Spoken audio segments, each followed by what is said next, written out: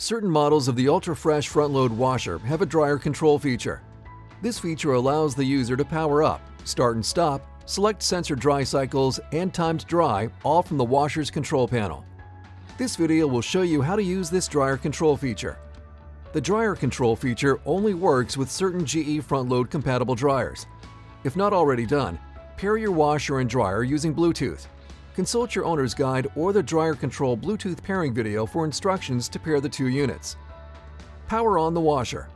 Press and hold the dryer control button on the washer for 3 seconds to power on the dryer.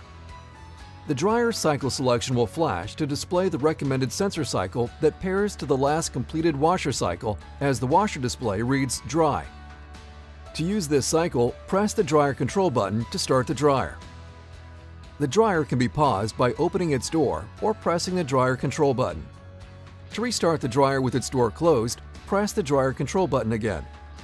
To select time dry instead of the sensor dry cycle, press the timed dry button on the washer while the display says dry. Repeated presses of this button will step through preset time dry times.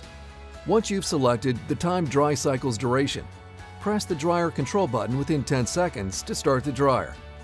Your dryer's control panel is fully functional even when you are using dryer control through the washer. Powering off the washer will not power off the dryer when a dry cycle is in progress please consult your owner's guide for more information on the dryer control feature.